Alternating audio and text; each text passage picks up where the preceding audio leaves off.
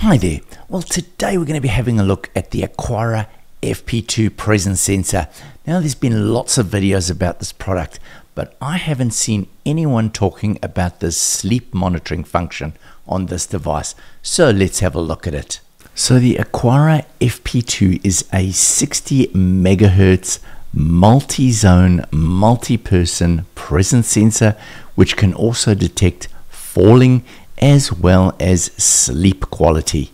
There are up to 30 zones that you can actually segment out and 320 cells within that room for ultimate precision. It's got a smart detection system that can actually tell between pets and humans and other devices like robot vacs, so it is able to check that it's actually monitoring people. So I've tried lots of different sleep trackers, but they normally require wearing a watch, and I find it really frustrating wearing a watch at night. So the idea of having this device monitoring you with nothing connected, I think is amazing. So this device is IPX5 rated, so it can be installed in areas like bathrooms with high humidity. The sensor offers a 120 degree field of view and it has this little adjustable mounting plate. So when you're mounting it on the ceiling for the fall detection, the 120 degree means that if you've got a 2.5 meter high ceiling, you would effectively only be covering a 4 or a 2 meter radius like this. So it is a reasonably limited area for the fall detection. So having a look at the device, it's a really nice quality feeling plastic injection molded plastic. Um, it's got the Aqara logo on the front here and we've got a multicolored RGB LED for displaying statuses. On the underside here we have a pairing button which is nice and easy to press. You don't have to worry about having a pin or something. And then we have this flexible arm that allows you to install it at different angles. On the other side here, this folds in quite nicely if you want to have it flat up against a wall or something. And on the underside over here, we can install, comes with two of these little magnetic metal plates. So these can be either screwed up against a wall or they can be stuck using this 3M VHB tape that comes along and then that will just sit at the back there and that will magnetically connect to any metal surface that you want to hold it on. Uh, there's also a QR code that's your little QR code for scanning to connect it up to HomeKit. Along with this device we do get a 2 meter USB cable but no power brick. So the zone detection on the sensor is unbelievable. As you can see, I've drawn up three zones over here. And when one person is moving, you can clearly see when they move from one zone to the second zone. And then we can see once a second person comes in, you can see the movement of that person between the zones. I'm literally blown away at the accuracy of this device. So having a look at the integration in Home Assistant, you can see the moment that I move into range, we get the overall detection and then the zone detection comes in over here. And then as I move from one zone to the next, it clearly moves into the next zone and we can trigger whatever automations we want.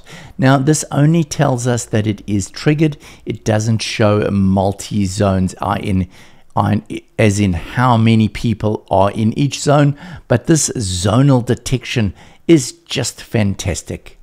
So I'm connecting this device through my Apple HomePod Mini and through the integration into Home Assistant. So if I want to change the zones, I can easily go into the zone management section and I can go here and I can just touch on any of these zones and I can then move them around, change them add additional zones. It's just really, really easy. Now, if we go into the settings of the device over here, we can then select what our detection mode is. Now, one of the things just to show you before we move on is this AI learning. So this is really cool. You can put it into AI learning mode and it will effectively start detecting different objects and then you can allow it to detect specifically humans and not get triggered by things like robot vacuums, Peggy the cat or anything like that, which is a pretty cool feature. Now, if we go into detection mode, as we were talking earlier, we're currently in the zone detection. Now what we're going to do is we're going to go into the sleep monitoring because this is what I'm really excited to show you. So as you can see at the moment it says it's free and it's limited. So this is a new function I think that they've added and currently it's allowed as a free option. So I'm going to select that and I'm going to go install. So what this is going to do now, it's going to switch away from the zone. It is in a trial mode, it's telling us, and it will now reprogram the device into the sleep monitoring mode, and then we're going to see what this will do. There we go. Now it tells us it needs to be between 0.8 and 1 meters above the sleeping position. Now, it can only monitor one person in the bed at a time.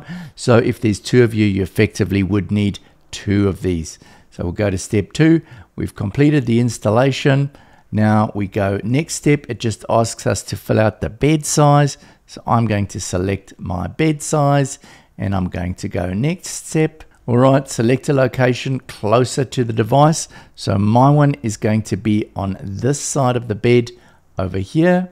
And there we go. It's reconfigured the device into the sleep mode and we can go start. So if I now lie on the bed and I go into the live monitoring mode, you can see that it pretty quickly starts picking up my heartbeat and my respiratory rate. So this is just unbelievable that this device is basically reading me about a meter away and it knows exactly what my heart rate and my respiratory rate is. And based off this, over the night time, it will effectively monitor your sleep and it will give you a report at the end of the night on exactly, and I'll show you now what my report looks like from last night. So at the end of the night, this is what the sleep analysis looks like. So you can clearly see we've got these light bluish green areas which are showing light sleep. Then you can see over here I went into a deep sleep period for a while. Then it looks like I woke up. I might have just got up, had a drink of water or something, and I immediately went back into a light sleep. Isn't that amazing? I am just blown away by this sensor and I will be using this for ages to actually monitor and see what's going on with my sleep. I think this is one of the best uses of the 60 megahertz millimeter wave. Well, I can honestly say I've had a huge amount of fun testing out this presence sensor and the sleep sensing for me is one of the best features that I've ever found on a device that I don't have to have this watch attached to me all night and bothering me from sleeping.